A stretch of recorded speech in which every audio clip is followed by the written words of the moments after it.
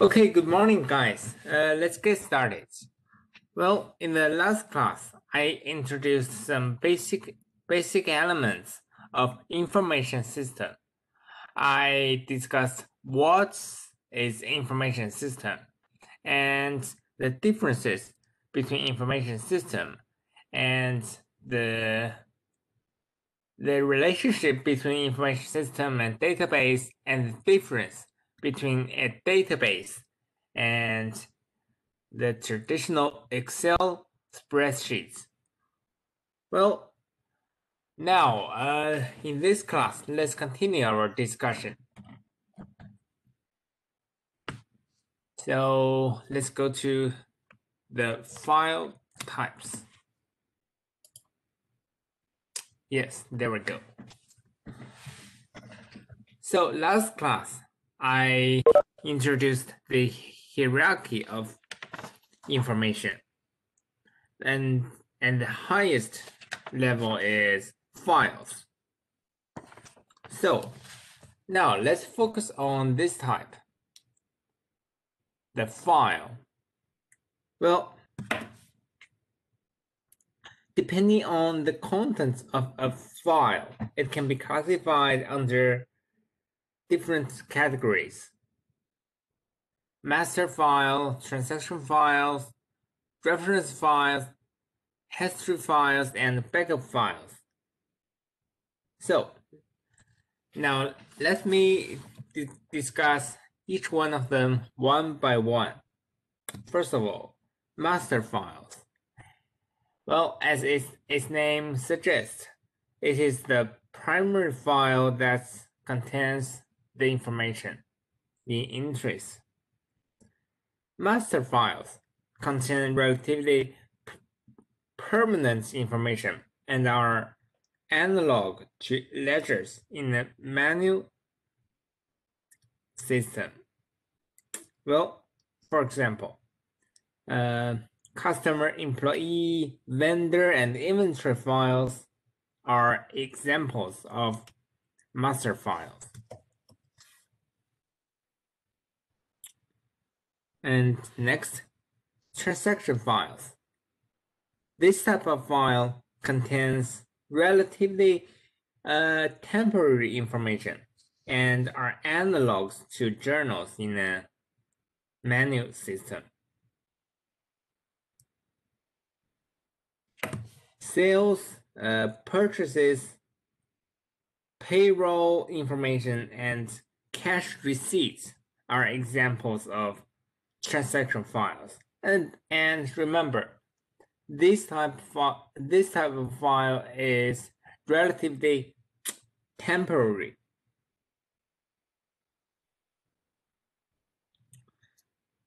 But of course, uh, transaction files are also valuable as it's stores of transaction information.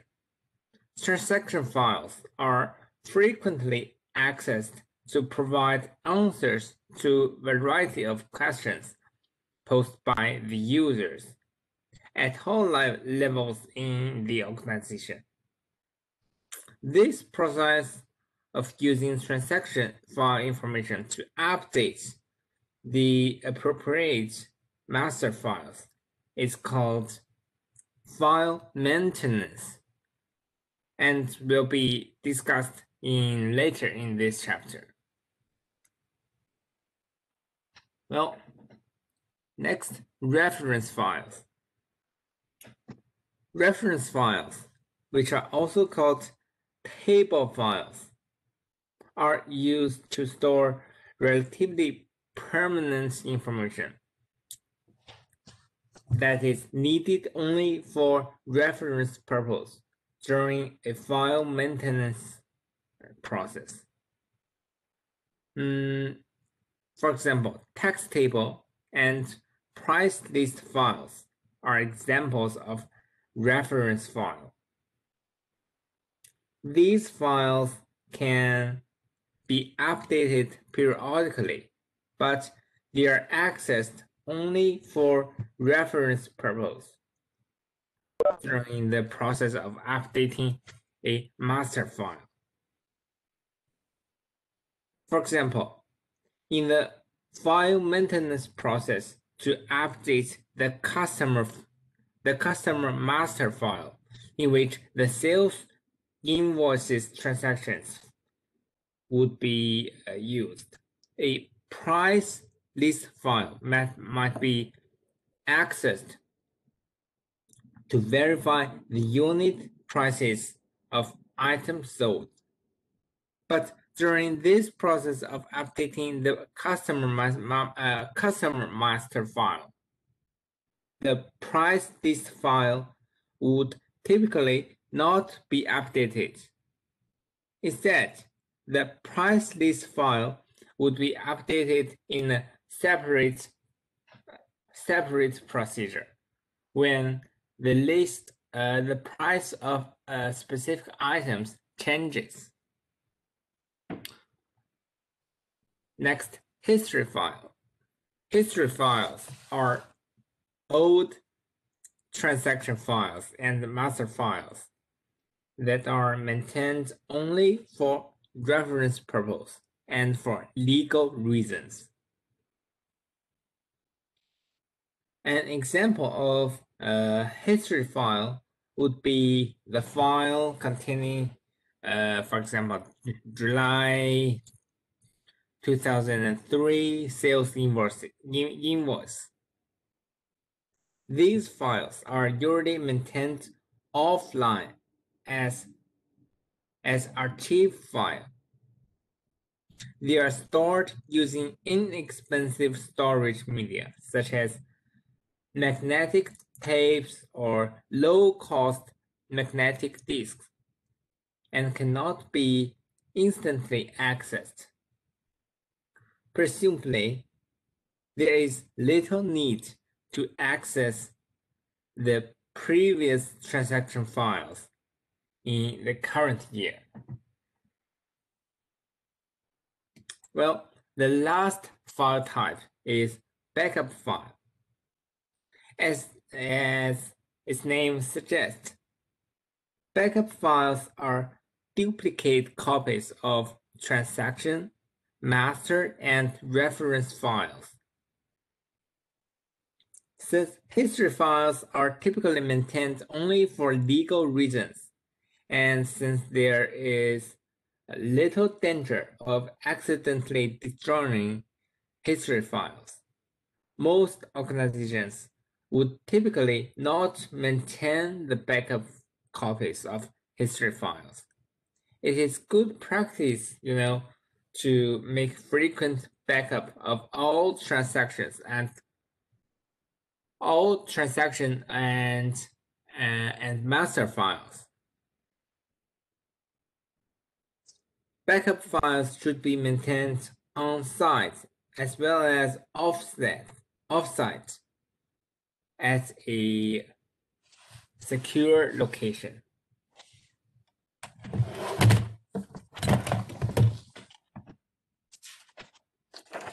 Well,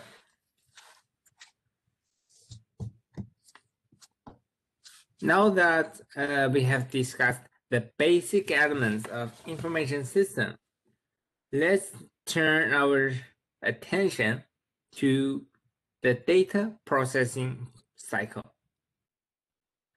All information system applications undergo a sequence of steps from data input to information output. This process is called data processing cycle. It uses um, temporary data in a transaction file to update the permanent data in a master file and also generate relevant reports. The sequence of steps in the data processing cycle are data input, data preparation, data processing, file maintenance, and lastly, information output. Well, first of all, data input. Data, data input involves a collection of raw data and converting data into computer readable form. Data input results in the creation of transaction file. For example, paper copies of sales invoices may need to be keyed and uh, may, may need to be keyed into the computer system's uh, sales transaction file using a keyboard terminal. New technologies facilitate automatic emerging of data. For example, using the barcode scanner. So this is data input. The purpose of this process is to collect information out from outside the information system, primarily from the, the transaction files. And second, data preparation. Data preparation may, needed, may be needed to facilitate data processing and file maintenance. Data preparation entails two main steps. First, validating input data to filter out error transactions. And secondly, sorting input data to facilitate the process of updating the master file. If the file processing method calls for master files to be updated instantly rather than rather than periodically, then the sorting step would not be needed. As will be discussed in the in the later chapter online processing system results in the master file being updated instantly, whereas um, batch processing system results in the master files being updated periodically. For example, uh, at the end of each day. In both online and batch processing system, data input must still be validated to prevent the, the error data from entering the system. Data processing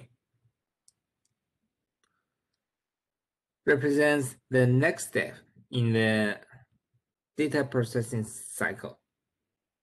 This step includes all the calculations uh, comparisons and manip manipulations that are undertaken in the particular application. For example, in a sales application system, data processing might involve calculating the sales tax payable on each invoice. The data processing step take a transaction file as input and may have access a reference file.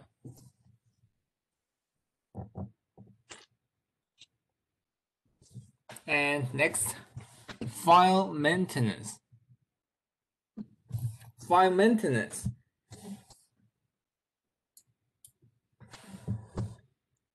This is the step where the master file is actually updated using transaction file data. There are three types of uh, file maintenance activities. They are add, update, and delete. The add activity involves adding the new master file records for example, adding a new customer to a customer master file. The update activity involves modify, modifying an existing master file records. For example, a customer's address could be changed. Or uh, the customer's balance may be updated to reflect new credit sales transactions. Specifically, customer balances will be increased for all customers who had credit sales transactions in a particular period. The delete activity involves deleting an existing master file record. Although the data preparation step filters the transaction file to detect erroneous transactions. Some types of errors can be uh, detected only at the file maintenance step. For example, if the customer's balance would exceed the credit limit if a credit sales transaction amount is added to the previous balance, then that transaction would have been rejected. Such rejected transactions are stored in a suspense file to be dealt with subsequent to the file maintenance run. Although data processing and data maintenance are distinct steps in the data processing cycle, it should be noted that they are frequently combined into one data processing run.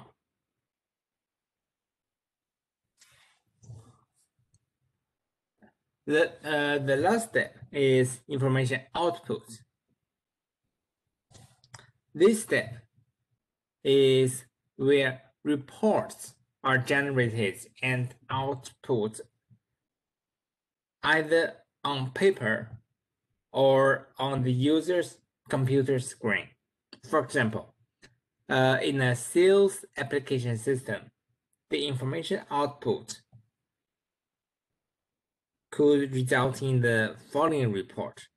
Uh, sales and uh, sales analyze report and salesperson's perf um, performance report, product turnover analysis, and customer statements of account.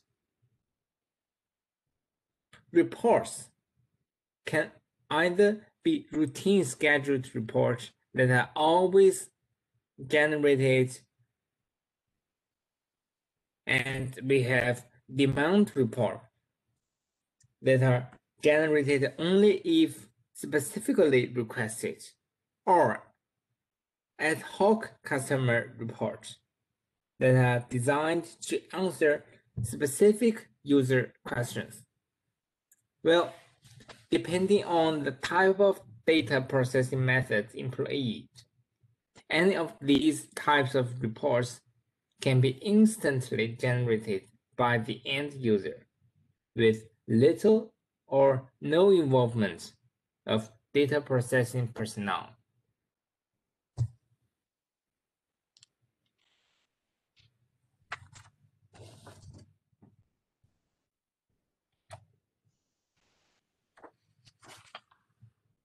Well, as discussed above, the data preparation step may only be partially necessary, depending on whether the processing system is batch or online. Specifically, transactions do not need to be stored in an online processing system since the desired master file records can be accessed instantly. But transactions still need to be validated, even in an online system. Also, in this figure, that the transaction file is exceeded during data input system in order to store input transactions, and the master file is accessed during the file maintenance step in order to read and update the master file records.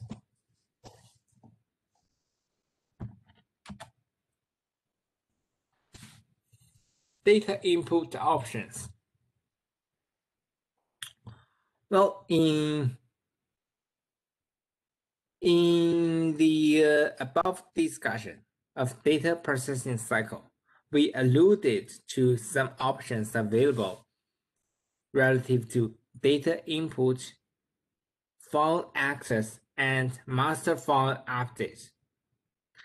Data can either be input instantly as it's, it is generated or subsequently at some predetermined points in the time.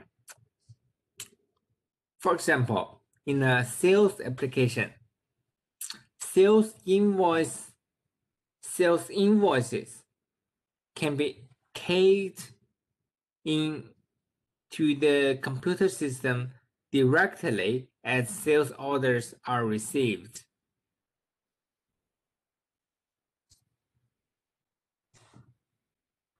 Or sales information can also be input into the computer system using the barcode scanner attached to the point of sale terminal. Well, these two methods shows that the sales information are inputted are input into the computer system online.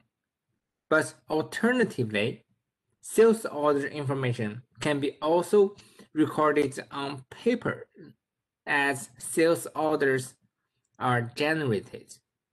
Later, perhaps uh, at the end of each day, all of the paper documents will be keyed into the computer system the resulting file containing the transactions in the computer readable form is called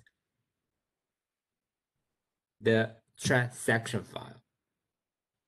When data are entered instantly into the computer system, the process is referred to as online data input. While when the data are recorded on paper and subsequently into the computer system. This process is referred to as batch data input. Batch and online inputs are depicted in, in this slide. In in batch input, either a magnetic tape or magnetic disk is used to store transaction files. But in the case of online input, a magnetic disk device is invariably used.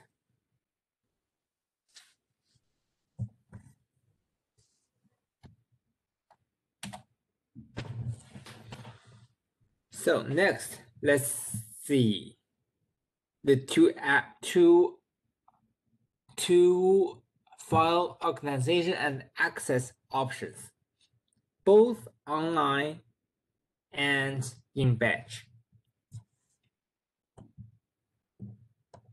Well, as I said, there are two primary methods of organization and access.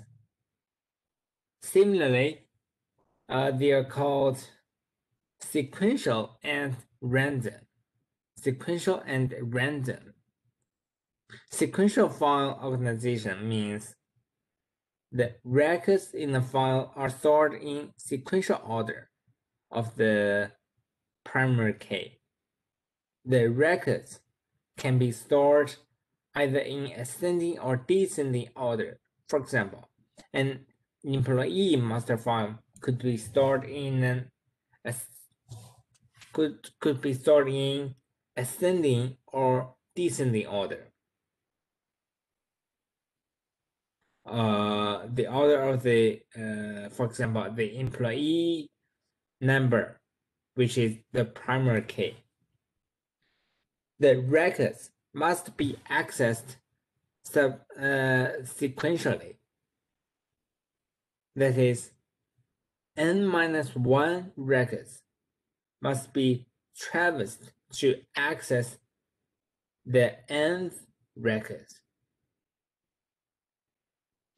When new records are to be added to a sequential file, it is important to maintain the sequential order of all the orders.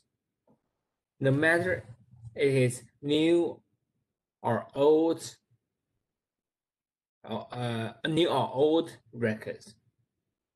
In effect, an entirely new file must be created, merging the new records with the old ones so that the correct sequential orders is maintained.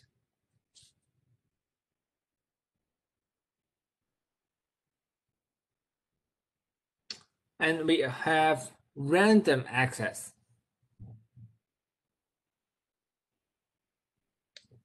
It is also uh, referred to as direct access files. Records in random files are scattered throughout the storage media. Records are not stored in any particular physical order. A hashing routine is used to determine the storage location of records. Well, the hashing routine takes the primary key of records and applies some mathematical algorithm to generate a disk address for the records. To access a particular record, the hashing algorithm is applied to its primary key to determine its storage location. Thus, in a random access file, the nth records can be directly accessed without having to traverse the n minus 1 records. Hashing algorithms are not perfect. It is possible that when the algorithm is applied to two records with different primary keys, the same disk address could be generated. Such duplicates disk address are referred to as clashes. That is, a clash occurs when a record is attempted to be written to a location that is already occupied. Such clashes are stored in an overflow area on the magnetic disk.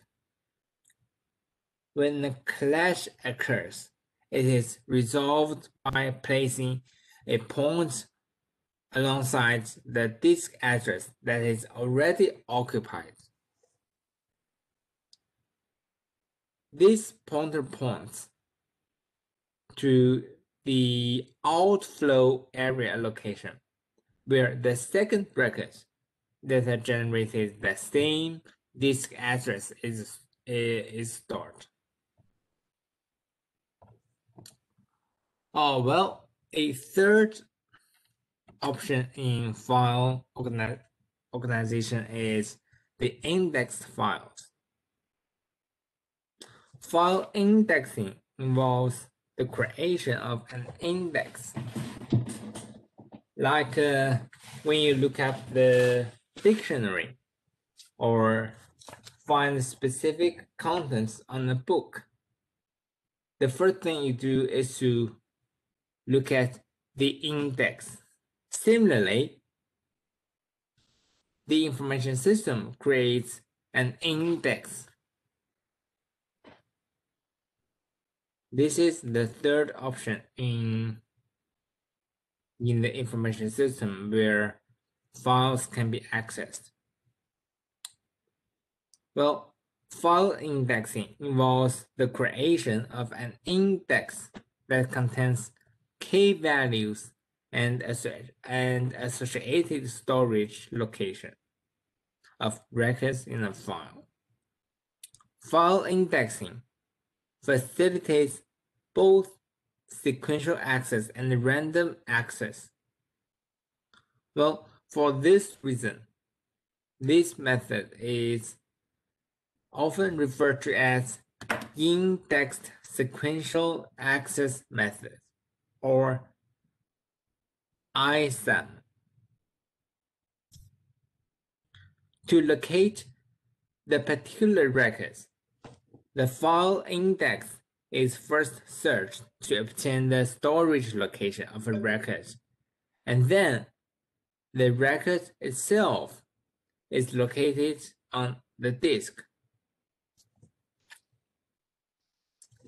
The file index itself can be accessed and searched very quickly, but locating a single record is slower in an indexed file relative to a purely random file because because two accesses are required. One to the file index and the second one to the actual disk location. To access all records in the file, for example, to generate a sequential listing of the records. The file index is first accessed to obtain the first record's disk address, and that record is accessed Thereafter, each subsequent record is accessed in, in sequence by first looking up the index and then retrieving, retrieving the records from the disk. However, this process is slower than in a purely sequential file organization, since the index must be accessed after each record to determine the location of the next sequential records.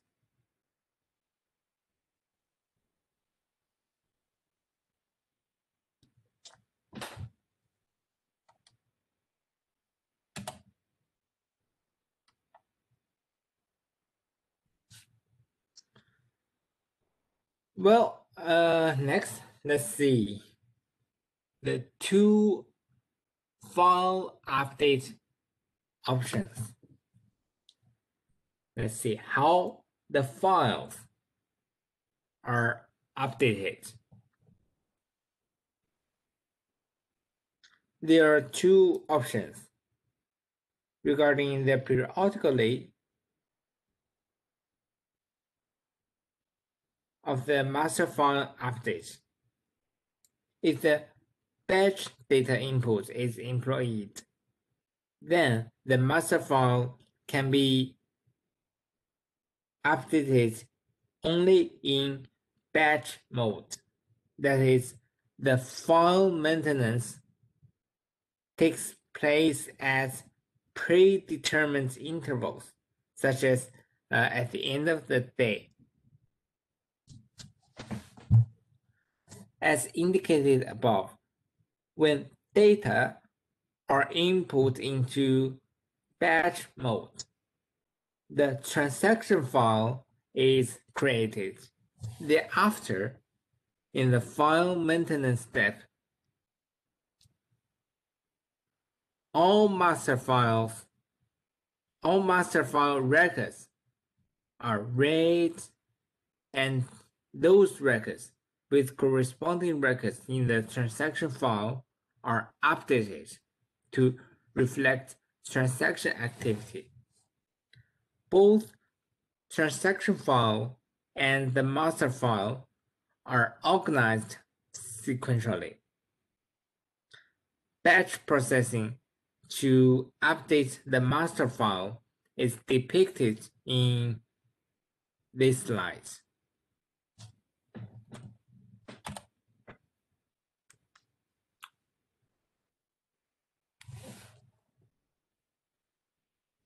All files are on magnetic tape. The transaction file must undergo the data preparation step of sorting and editing.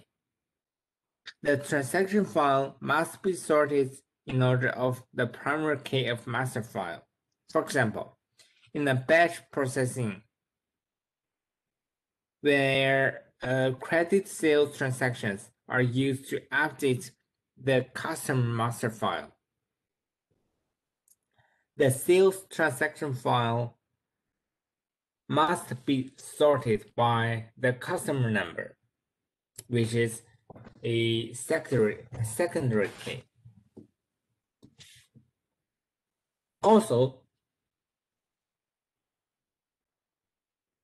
this slide that a transaction listing and an error listing are generated as a result of the processing run.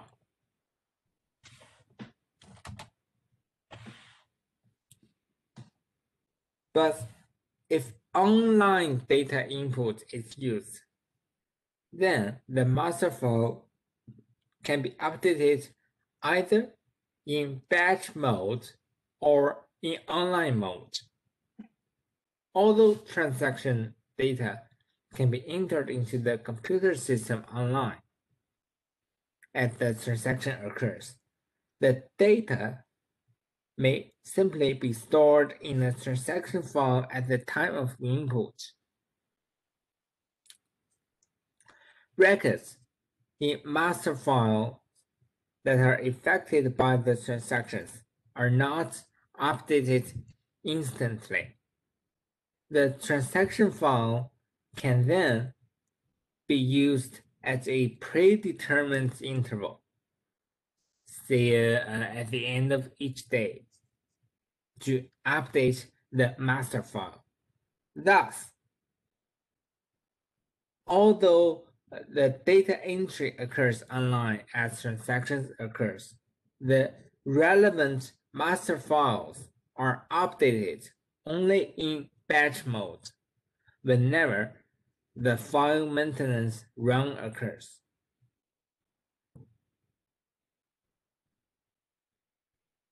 In this option, the master file is organized is organized sequentially. Given the master file is updated only in batch mode. The difference between online data input and, and batch input is simply that the transaction file is created as transaction occurs with online input and at batch processing interval with batch input.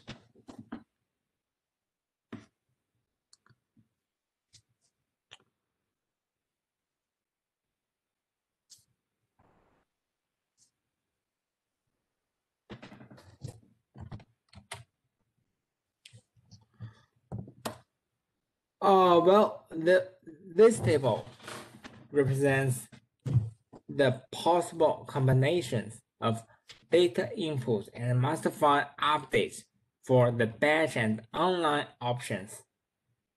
The only combination that is not possible is here.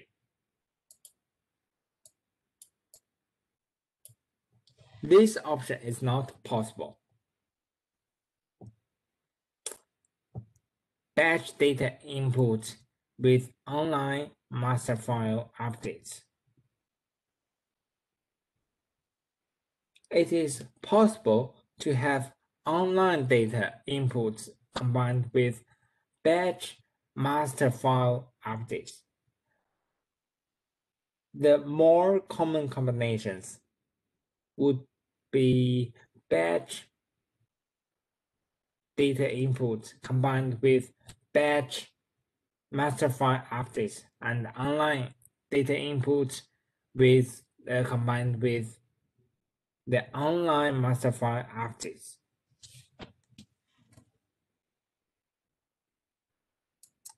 These two are more more common.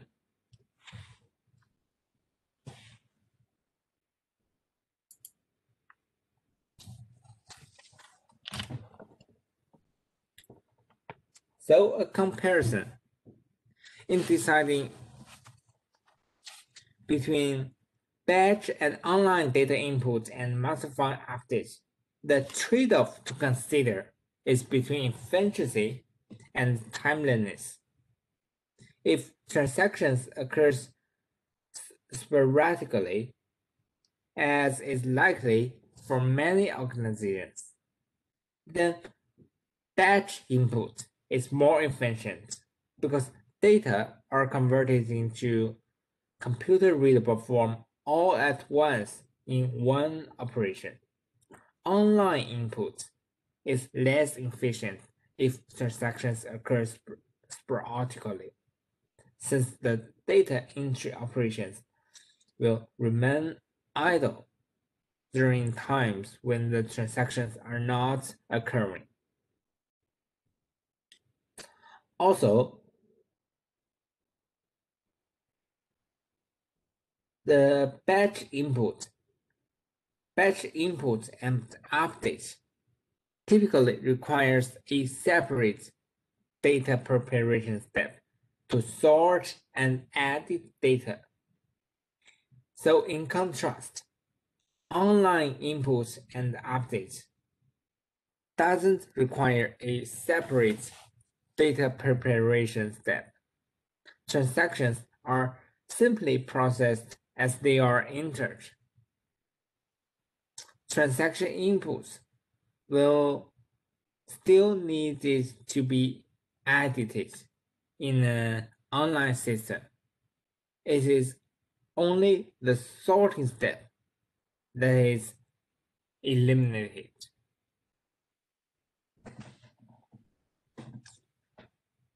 And now let's turn to the timeliness. Online data input facilitates instant, instantaneous updating of the master file. When with the batch input, the master file can only be updated periodically. In some instances, the periodic nature of the update process is preferably because the greater greater control over the file update process is generated. Care can be taken to ensure that transaction being used to update the master file during the periodic batch processing are in fact all valid transactions. As already noted, a separate edit run detects errors in the transaction data file, and these erroneous transactions are excluded from the file. However, when the master file is updated only periodically, its records are not always up to date. You can consider a sales and accounts receivable application where the customer master file is updated in batch mode at the end of the day. During the day, the customer file will not reflect the correct customer balance to the extent that sales and collection transactions would have occurred, but would not be used to update the master file records until the end of the day. But in contrast, if sales transactions are entered online and the master file is updated as transactions occur, then the customer file would always reflect the current balance of each customer. Given that timeliness of information is being increasingly critical, online data entry and instant master file updates is preferred option for most organizations in the current business. Uh, moreover, decreasing hardware costs in recent years have made it cost effective for all business, but the smallest of the of organizations to use online data input combined with real-time master file updates.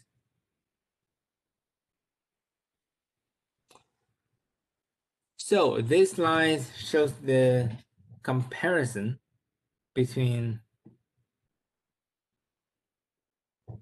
different options.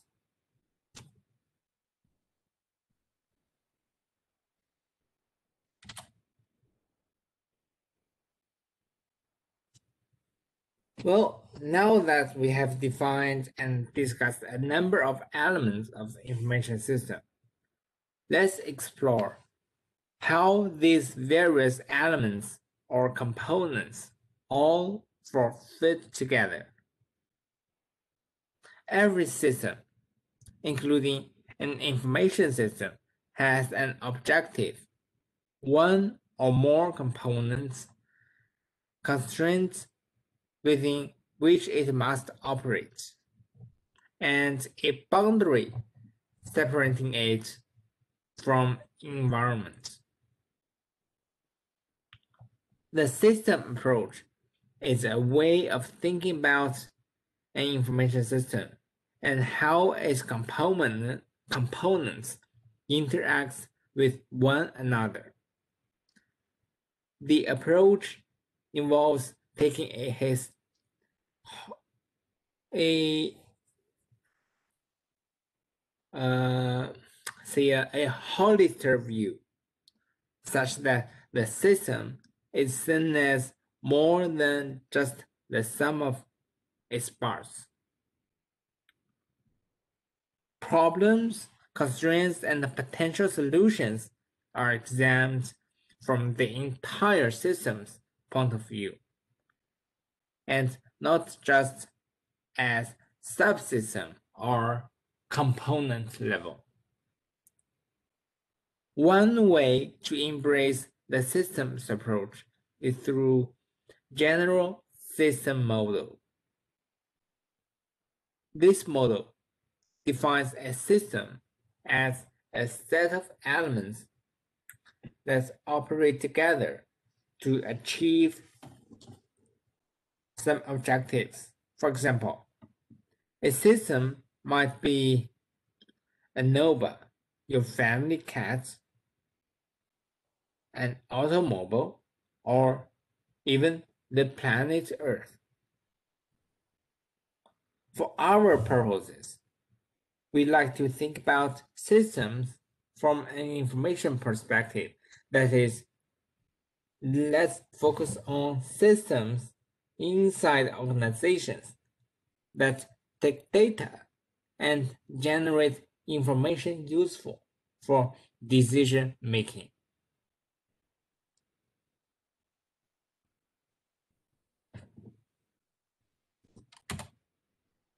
From the general system model perspective, a system has an input, process, output, a boundary, and operates in an environment.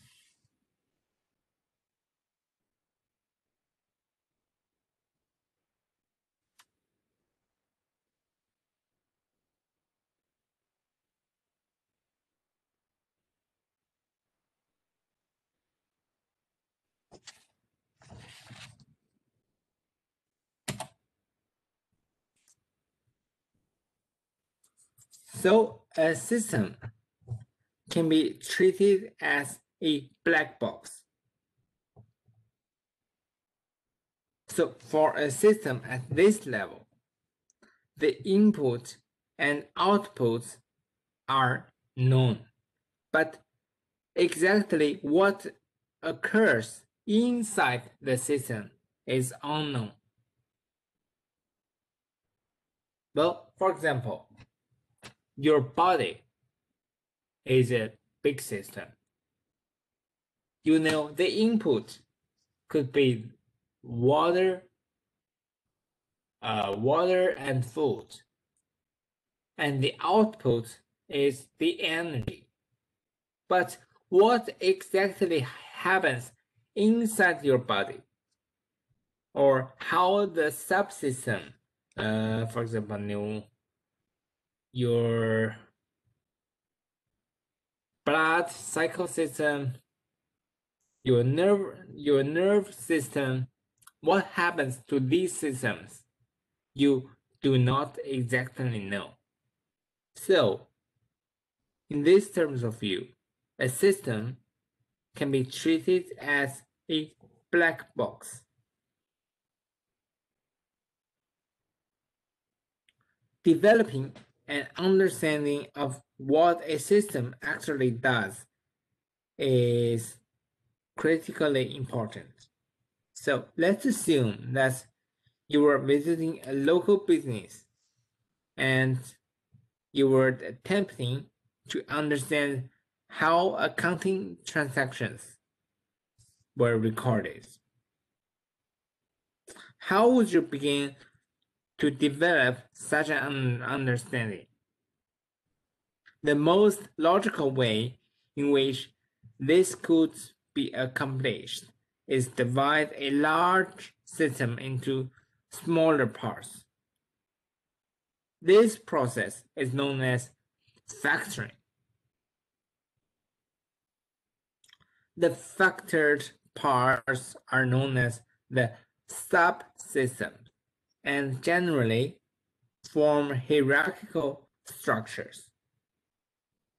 The difficulty with structuring is that the number of interconnections between these systems, and it is known as the interfaces.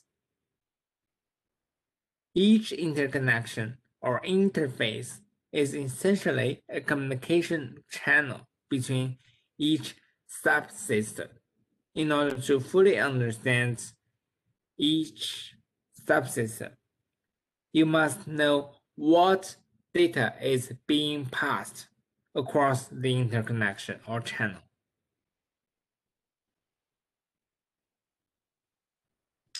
So in this in this slide, for example, an accounting system is divided into these factors.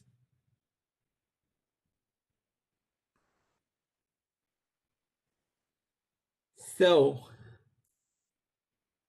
this is how you calculate the interfaces. The general rule for specifying the number of interconnections is using these two formulas.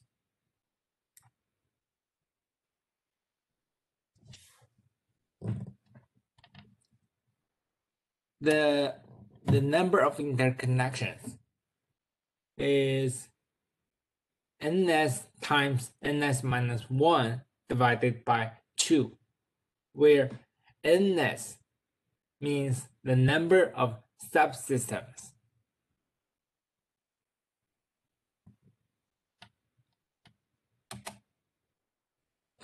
So this is how we determine the number of sub uh, interconnections. For example, here we have subsystems A, B, C, and D.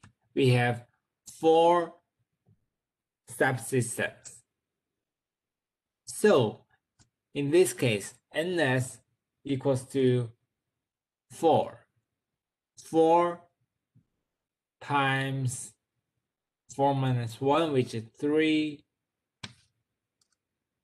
Uh, 4, 4 times 3 is 12. Divided by 2 is 6. So, in this case, the number of interconnections within four subsystem is 6. And also, you can easily calculate the number of interconnections in the case of 10 subs uh, 10 subsystems. That is 45 so using this way the number of interconnections can be calculated very quickly.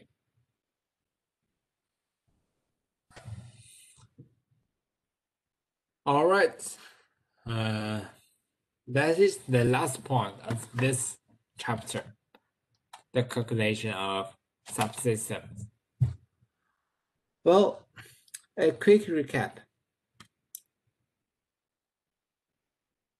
In this chapter, I introduced some basic elements of information system.